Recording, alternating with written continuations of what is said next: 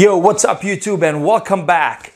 In today's video, I want to talk with you about why you have to stick with your trading plan. There is a great lesson in today's Forex market analysis because for the first time since I gone live, I had that feeling that I don't want to get in that trade. It didn't look good. It didn't look good at all. However, I decided to took it because it was according to my plan and I backtested it, put a lot of effort in it and it played out. But I'm not gonna tell you how it played out. For it, you have, you'll have to watch the entire video. Hint, hint, take a look at the afternoon session. And with that being said, stay tuned, we are coming right back.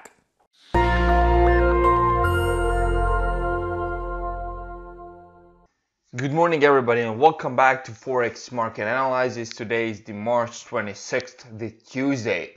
And yesterday was Monday, and although uh, I did take one trade, I haven't had a chance to upload a video. So I, I want to start this morning's session with yesterday's trade, the trade I didn't want to take. And here it is. Let me zoom in. Maybe you don't see it at first glance, but it's a beautiful trade. And I, why I didn't want to take it because at first it didn't look good to me. I just didn't like the look of it but then I went through my back testing and I had that feeling that it's not gonna be good. But then I go, I went back to through my back testing and it, you know I had to take it and I did. I did take it and uh, ended up making 45 pips within first 30 minutes. The, this was the it, it was a, a Gartley pattern on, on pound yen. Around this was my pending entry, and I got in and it took my target one immediately but unfortunately it stopped me out for a second position otherwise it'd be like 120 pips or so which would make my account go up uh, 1 point something percent but that didn't happen although I did get my account up for 45 pips which is let's check it out pound yen if you check it out it's 46 pips actually 10 euros, which makes it around half of a percent for me. Around, around half of a percent. So that was a good trade yesterday. and eventually did fall down, but that was yesterday. It was a good trade. I'm happy that I had a uh, had a strength, mental strength to stick with my plan and take the trade. I think that's one of the biggest hurdles most of the traders go through because sometimes, sorry, sometimes you just don't have strength to take those trades you know that that that it and, and you need to go ahead you need to take them but sometimes you might find pulling a trigger might be really really hard for you but uh, you have to because it's in your trading plan and that's the whole point of this video basically stick to your plan pull a trigger when you need to pull a trigger and that's it now with those two two and a half minutes let's go to the daily analysis on this pair. As you can see, on pound yen, I'm waiting for this Gartley uh, pattern to complete here today. It might be another good trade. If not, well, we'll see what's going to happen. Then let's go from the beginning to the end. USD CAD, nothing yesterday, and I don't see opportunity today. The potential A point got broken out while later, so we won't be looking at any opportunities on this pair right now. Aussie CAD, uh, uh, made a new high. So I, yeah, so if this is X2A, A2B, B2C, C2D, then I'm expecting something that I can get engaged with. But, but besides that, I don't see anything else here for me. Aussie USD, nothing. There might be a cipher pattern, but I'm not trading ciphers on Aussie USD. I haven't find them profitable. Plus, this is not a cipher pattern at all. Let's yeah, it's not it's not touching the 38.2, so it's not a cipher pattern. For you, if if if it, if it is on your data, then you have around 20, 27 up to 30 pips more until completion. Euro dollar Oh, price is making new low, new low. Now it's okay. So price action is nowhere. It's consolidating. If something, if we do get something, I'll probably get engaged. But so far, as far as I see, there is nothing here as well. Pound dollar. Ah, sorry for this small pause, but I don't see. Oh, yeah, I don't see anything here. Maybe, maybe, yeah. I, I don't wanna x2a and e2b.